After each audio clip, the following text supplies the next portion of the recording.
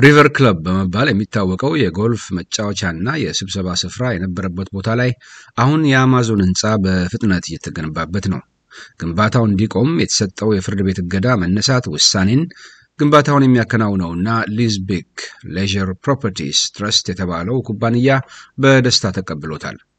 እንደ ኩባንያው ከሆነ በአማዞን የበላይነት የሚከናወነው ልማት 19 ሺህ የሥራ ዕድሎችን ይፈጥራል። Liesbeek Leisure Properties Trust welcomes the judgment, which is a major ሊዝቤክ ሌዥር ፕሮፐርቲስ ትረስት 265 ሚሊዮን የአሜሪካ ዶላር የሚፈጀውንና መላውን የኬፕታውን ነዋሪ የሚጠቅመውን ፕሮጀክት በተመለከተ የተሰጠውን የፍርድ ቤት ውሳኔ በመልካም ይቀበለዋል። ይህ ውሳኔ ለአካባቢው ማህበረሰብ ጥቅም የሚሰጠውን ልማት በሚቻላቸው ሁሉ ለማስቆም ጥረት እያደረጉ ላሉ ወገኖች ግልጽ መልእክት የሚያስተላልፍ ነው። የ266 ሚሊዮን ዶላር ፕሮጀክትን ክርክር በተመለከተ አማዞን እስካሁን አስተያየት አልሰጠም። ክሱን ያቀረቡት ኦብዘርቫትሪ የሲቪል ማህበር የተሰኙ የማህበራዊ አንቂዎችና ታሪክ ጀንኪንስ የተባሉ የነባር ማህበረሰቦች ተወካይ የምክር ቤት አባል የፍርድ ቤቱ ሙግት ገና አላለቀም ባይ ናቸው። እነርሱ እንደሚሉት ቦታው በዓለም ቅርስነት መመዝገብ ያለበት ነው። ምክንያቱም ይላሉ እንደ አውሮፓውያን አቆጣጠር በ1510 ደቡብ አፍሪካውያን ከአውሮፓ ኮሎኒያሊስቶች ጋር ለመጀመሪያ ጊዜ ውጊያ የገጠሙት በዚህ ስፍራ ነበር። ኮሂ ኮሂ የተባለው የአካባቢው ማህበረሰብ ሰራዊት ልጆቻቸውንና ሴቶቻቸውን ያረደውን የፖርቹጋል ጦር ድል የነሱት በዚህ ቦታ ነበር። ነገዶች ቦታውን የመጀመሪያው ግጭት በማለት ይጠሩታል። ማህበራዊ አንቂዎቹ በተጨማሪ የአካባቢ ብክለትን እንደ ምክንያት ያነሳሉ።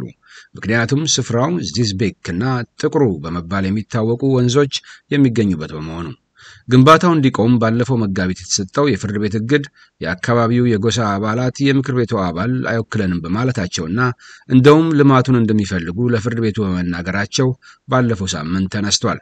ሌዝሊ ለንደን በኬፕታውን ዩኒቨርሲቲ ፕሮፌሰር እና ኦብዘርቫቶሪ የሲቪል ማህበር የተሰኘው የአንቂዎች ማህበር ሊቀመንበር ናቸው። የህግ ሂደቱ ገና አለማለቁንና ግንባታው በህግ መፈቀዱን ፍርድ ቤቱ ገና በማጣራት ላይ እንደሆነ ይናገራሉ።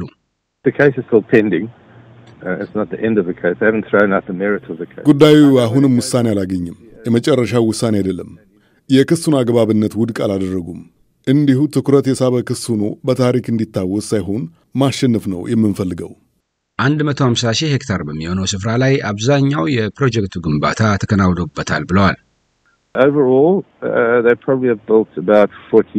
በአጠቃላይ ምናልባት አርባ በመቶ የሚሆነውን የህንፃ ግንባታ አከናውነው ሊሆን ይችላል። ነገር ግን ብዙ የሚኖሩ ነገሮች አሉ። አማዞን እያደገ ሲመጣ ተጨማሪ ህንፃዎች ሊገነቡ ይችላሉ።